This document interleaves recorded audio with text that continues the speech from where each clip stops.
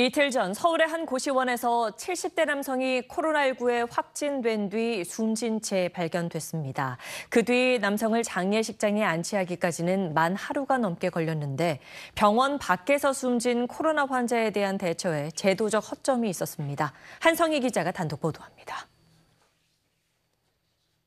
이틀 전 서울 강동구의 고시원 앞 경찰차와 구급차가 잇따라 들어옵니다. 고시원엔 코로나19 확진 판정을 받고 숨진 70대 남성이 있었습니다. 구급대원들이 방호복을 입는가 싶더니 잠시 뒤 그냥 떠납니다. 감염 위험 때문에 밀봉 상태로 시신을 옮길 수 있는 운구 차량이 필요했기 때문입니다. 경찰이 업무를 담당하는 보건소에 알렸지만 3시간이 지난 뒤에야 도착했습니다. 이번엔 시신을 검사할 검안이를 찾는데 시간이 걸렸습니다. 안 한다고 하는 거죠. 확진자이기 때문에. 검안 이후에도 남성의 시신은 계속 방치될 수밖에 없었습니다. 서울시와 업무 협약을 맺은 장례협회가 확진 사망자 안치 업무를 담당하고 있는데 그 사이 업무 시간이 끝나버린 겁니다.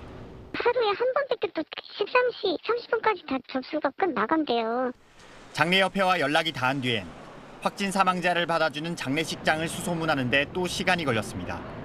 장례식장 시신을 받아줘야 되는데 그 받아주는 장례식장 섭외가 안된 거죠. 병원에서 돌아가셨으면 사실 뭐 큰 문제 없이 바로 진행을 할 수 있는데 결국 숨진 남성은 발견 시점에서 25시간이 지나서야 장례식장에 안치됐습니다. 코로나19 확진 사망 사례는 병원 치료 중 사망한 경우가 대부분이어서 보건당국은 관련 대처가 미흡하다고 설명합니다.